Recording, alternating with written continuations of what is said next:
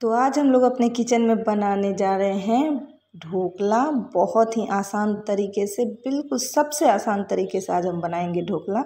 तो चलिए देखते हैं अपनी रेसिपी हेलो एवरीवन मैं नीलू स्वागत करती हूँ आप सबको अपने चैनल नीलूज क्रिएटिविटी में। तो ढोकला बनाने के लिए सबसे पहले हम बेटर लगा लेते हैं। तो यहाँ पे हम एक बड़ा सा बाउल लेंगे।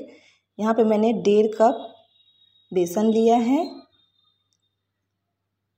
और साथ में हम यहाँ पे ऐड करेंगे हाफ़ कप सूजी। अगर आप सूजी नहीं ऐड करना चाहते हैं तो आप टोटल दो कप बेसन ले लें, बट सूजी ऐड करेंगे तो बहुत अच्छा ढोकला बनेगा। और यहाँ पे मैंने एक चम्मच नमक ऐड किया, हाफ़ टी स्पून मैंने हल्दी ऐड किया, हल्दी से कलर बहुत सुंदर आएगा। और थोड़ा सा मैंने इसमें चीनी ऐड किया है। इतने से चीनी से मीठा नहीं होगा, बट इसके टेस्ट को बैलेंस करने के लिए हम यहाँ पर थोड़ा सा चीनी डालेंगे। और साथ में मैंने टू टेबल स्पून के करीब इसमें ऑयल डाला है। क्योंकि बेसन हमारा बहुत ड्राई होता है तो थोड़ा सा अगर आप ऑयल ऐड करेंगे तो ये बहुत मॉइस्चराइज रहेगा। और साथ में मैंने एक तिहाई कप इसमें दही ऐड किया। दही के साथ मैंने हाफ़ कप के करीब पानी ऐड किया। पानी हम रिक्वायरमेंट के अनुसार देंगे, जितना लगेगा उसके अकॉर्डिंग ही देना है। और इसमें थोड़ा थोड़ा करके पानी डालते हुए आप बिल्कुल अच्छा सा बेटर लगा ले, ताकि एक भी गुठलियाँ ना रहे। आप एक ही डायरेक्शन में चम्मच घुमाएँ तो ये बहुत अच्छा बेटर लगेगा और गुठलियाँ भी नहीं पड़ेंगी। ऐसे तो ढोकला बहुत तरीके से बनाया जाता है बट ये सबसे आसान रेसिपी है, इसे आप फटाफट बना सकेंगे, बिल्कुल घर के चीज़ों से ही बनेगा। तो ये ये बहुत आसान रेसिपी है, एक न एक बार आप ज़रूर ट्राई करें। और ये अभी भी मेरा बेटर थोड़ा सा गाढ़ा लग रहा है तो दो चम्मच के करीब और पानी ऐड करके हम इसे अच्छे से मिक्स कर लेते हैं। और क्योंकि मैंने इसमें सूजी ऐड किया है तो हम इस बैटर को दस मिनट के लिए थोड़ा सा रेस्ट होने में रखेंगे। तो बेटर हमने ना ज़्यादा पतला किया है, ना ही ज़्यादा गाढ़ा किया है तो अब हम इसे रेस्ट में रख देते हैं। तो दस मिनट हो चुके हैं तो हम जिस भी बर्तन में हमें इसे स्टीम करना है, हम उस बर्तन को पहले थोड़ा सा ऑयल लगा के ग्रीस कर लेते हैं। तो मैंने यहाँ पे एलुमिनियम का टिन लिया है। आपके पास अगर ट्रे हो तो आप ट्रे ले लें। तो ये देख सकते हैं हमारा बेटर रेस्ट दस मिनट रखने के बाद थोड़ा सा और गाढ़ा हो गया क्योंकि हमने इसमें सूजी ऐड किया था। तो इसे थोड़ा सा और पतला करेंगे हम। तो यहाँ पे दो चम्मच के करीब पानी ऐड करके हम इसे थोड़ा सा पतला कर लेते हैं। इतना गाढ़ा बैटर नहीं रखना है। ये हमारा बैटर अच्छे से लग चुका है। अगर आप चाहें तो इस इस टाइम पे इसमें थोड़ा सा हरी मिर्च और थोड़ा सा अदरक भी ऐड कर सकते हैं। बट मैं इसे आज बहुत ही सिंपल बना रही हूँ, बिल्कुल सिंपल बना रही हूँ। तो हम इसमें कुछ भी ऐड नहीं कर रहे बट आप चाहें तो ऐड कर सकते हैं। तो यहाँ पे अब हम इसमें ऐड करेंगे इनो।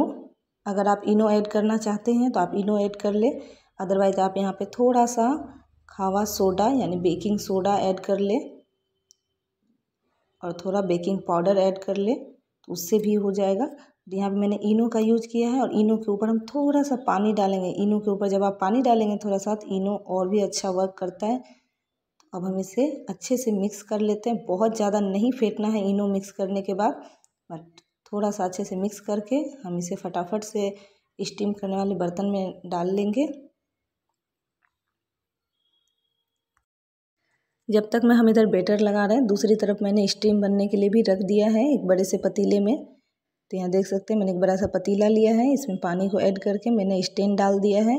अगर आप चाहें तो स्टेन ना हो तो आप कोई बाटी या प्लेट का भी यूज़ कर सकते हैं। तो अब हम इसमें ढोकले वाला बर्तन रख देंगे और इसे ढक्कन लगा के आपको मीडियम फ्लेम पर इसे बिल्कुल 10 से 15 मिनट के लिए बेक कर लेना है। आप 10 मिनट में एक बार चेक कर ले। चाकू को डाल के या थोड़ी सी स्टिक को डाल के। जब तक हमारा ढोकला रेडी हो रहा है तब तक हम नींबू पानी रेडी कर लेते हैं। तो यहाँ पे मैंने चार बड़े चम्मच चीनी डाला है। और इसमें मैंने दो नींबू का रस ऐड किया है और हम इसमें पूरा एक गिलास नींबू पानी बनाएँगे। आप ढोकले में जैसा टेस्ट देना चाहते हैं, अगर मीठा ज़्यादा, खट्टा कम या खट्टा ज़्यादा, मीठा कम तो उसके अकॉर्डिंग ही नींबू पानी रेडी करें। यहाँ पे मैं तीखा, मीठा, खट्टा बिल्कुल एक इक्वल दूँगी। तो इसे हम पाँच मिनट रख देते हैं ताकि ये अच्छे से पिघल जाए। तो इधर हमारा ढोकला पंद्रह मिनट हो चुका है। दस मिनट में मैंने एक बार चेक कर लिया था तो उस वक्त नहीं हुआ था तो फिर से मैंने इसे ढक दिया। अब हमारा ढोकला देख सकते हैं कितना अच्छा फूल कर ऊपर तक आया है। हमारा ढोकला रेडी है। अब हम इसे बिल्कुल गरम गरम आपको नहीं पलटना है उसे ठंडा होने देते हैं। तब तक हम तड़का रेडी कर लेते हैं। तो यहाँ पे मैंने एक कढ़ाई में थोड़ा सा ऑयल ऐड किया है। ऑयल में हम थोड़ा सा डालेंगे मस्टर्ड और थोड़े से हरी मिर्च। यहाँ पे मैंने चार हरी मिर्च को पतले पतले कट कर लिया है और इसे अच्छे से तरकने देंगे हम। फ्लेम को आप थोड़ा लो रखें इस टाइम पे नहीं, ये बहुत ज़्यादा तरकता है और हम इसमें बिल्कुल एक मुट्ठी कढ़ी पत्ता ऐड करेंगे। हम इन सारी चीज़ों को पहले अच्छे से फ्राई कर लेते हैं। ये देख ले सकते हैं, ये अच्छे से फ्राई हो चुका है। तो हमने जो नींबू पानी रेडी किया था, वो अब इस टाइम पे इसमें ऐड कर देंगे। आप अगर पानी इस तड़के में नींबू पानी को ऐड करके इसे अच्छे से बॉयल करेंगे। तो पानी के अंदर खट्टा मीठा फ्लेवर तो है ही। मिर्ची वाला तीखापन भी आ जाता है। थोड़ा तड़के का भी फ्लेवर मतलब बहुत ही अच्छा सा ये पानी रेडी हो जाता है। तो इसलिए आप इस तरीके से ज़रूर इसमें ऐड करके पानी को बॉयल करें।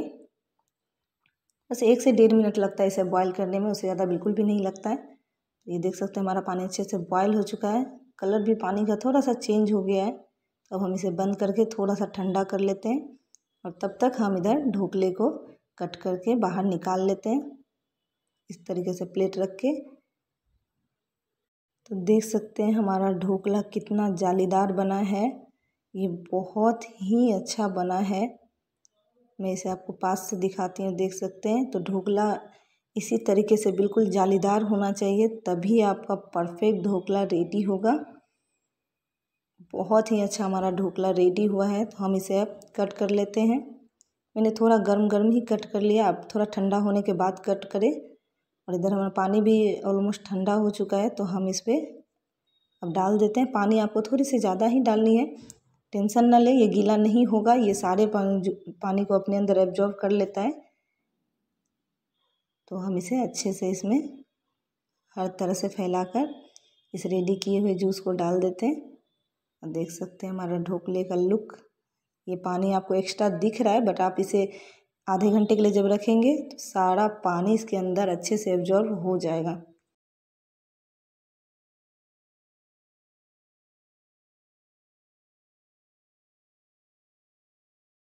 आधे घंटे के बाद आपका ढोकला सर्व करने के लिए बिल्कुल रेडी है।